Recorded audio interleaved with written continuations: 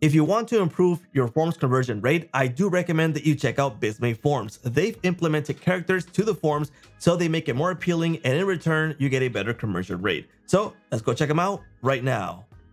What's up everyone? So I want to show you the Visme Forms feature that they've just launched and one of the cool features that they have is that they've implemented characters into this. Now you don't have to stick with characters, you can actually remove them with the standard form or a full background. But in my case, I think that's the fun part about Visme Forms, which I think is what is going to be appealing for people to actually fill it out.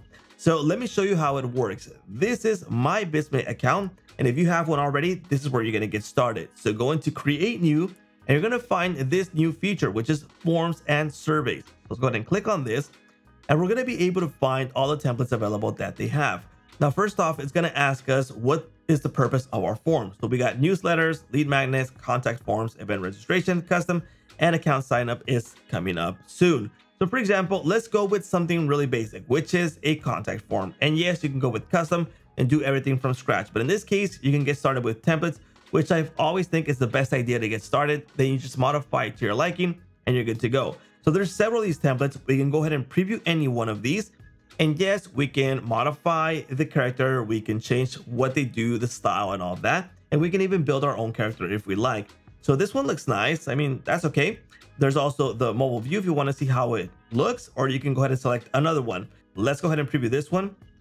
And you can see that there's different characters, different styles, and there's different styles also for the form. So just select the template that you like and the feeling that it has. So it's much easier to customize it. But in this case, I mean, I'll just go ahead and select this one. It's a random form. We get the style, we get the characters. And before I show you how to implement the form fields and all of that, let me show you the cool feature that I like the most, which is the characters, right? So the first thing is we can show characters or not. We can go ahead and get rid of them if we like. But in this case, we do want to use them. And there's different type of enter stage for these characters. For example, I can use a briefcase and it's going to depend on the business niche that you want to use for the character that the style it's going to have, right? So for example, that's the briefcase one, the, the moonwalk, which is kind of fun, and it's going to depend on the business.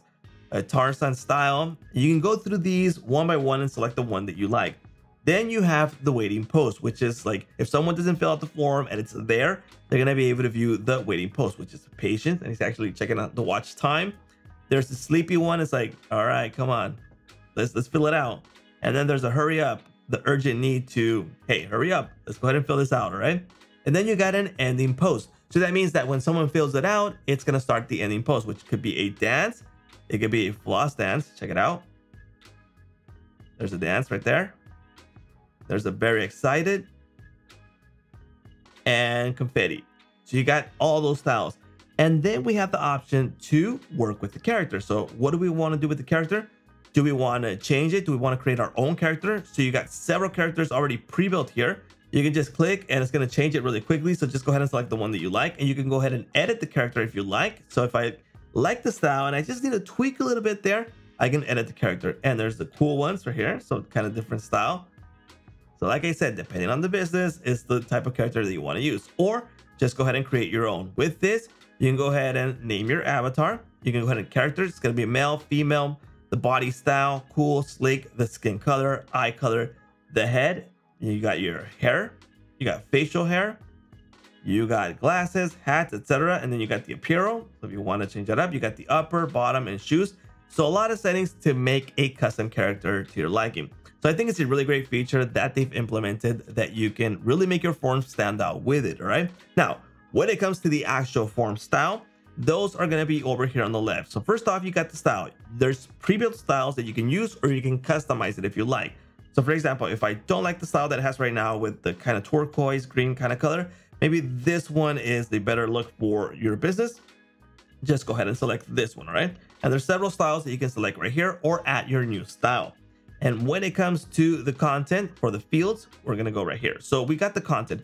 There's a subheader if you want to enable this and you can see it just popped in and I can go ahead and edit that details right there.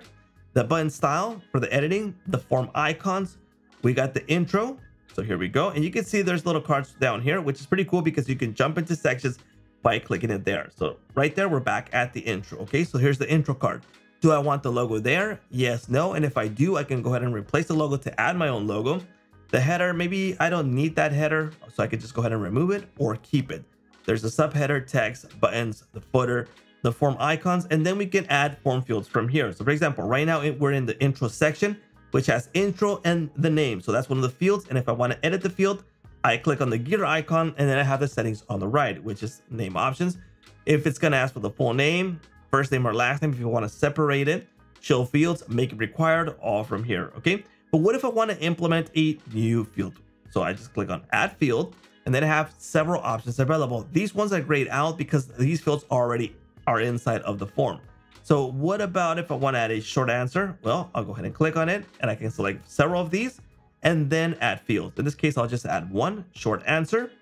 Here we go. And you can see it's added right here. But I want to add it over here in the intro. So I just drag it up here. Okay, let's go back into the intro.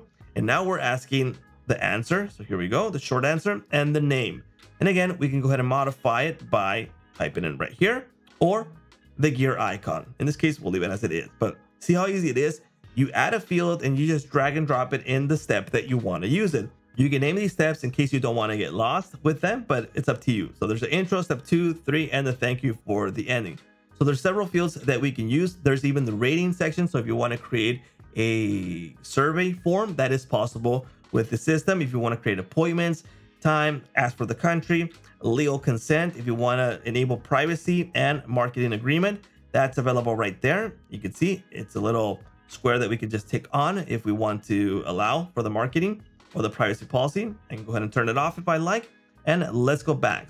And in the end, we have the thank you section. We want to modify it from here. And we're good to go with the form and our characters, which is super easy to get started, right? Once you're good to go, you have options to connect in case you want to connect this with other type of applications that is possible right here. And then we have the publish system. Once you're ready to go, go ahead and publish it. And we're going to get the options right here. So for example, name this form so we can locate it later on. The link to share. So once you share this thing, someone can fill it out really quickly. So let me go ahead and copy it really quickly. Go to incognito mode and you're going to see the character with the form right here. There we go. Here's a character that popped in. And here we go. Since this is a full page form, you can see we can see it on the whole page, but we can also embed this on our website. So that's for the link that you're going to share. We have the embed options. So you got pop up over page and you got a little details right there. And then we got the settings for that between content and the sidebar. So for example, so pop up page, you have the options to load this after a page load. So once the page load, it's going to pop up or after five seconds, 10, 20, you set it right here or after user interaction or my best option, what I think I like the best is the after viewer scrolls past a certain amount of percentage of a page. Why? Because I think that someone's already interested in that page and they're to see the pop up once they scroll. If not, it won't pop up. Now it's up to you what you want to select, but that's the one I prefer. When the viewer attempts to leave the page, so if they go outside of the browser right there, it's gonna pop up the, the form. So maybe someone might come back once they see the form there. So you get all these options. Once you select it, you can go ahead and copy the code and embed it on your website, which is super easy. And then you got your privacy settings. So it's going to be public, not, and private is coming soon. And once you start receiving form submissions, you're going to have all your data right here from viewers, start, submitted, completion rate, and the average time right here. And you can go ahead and export everything. And then we we're able to view all the submissions right here on the list.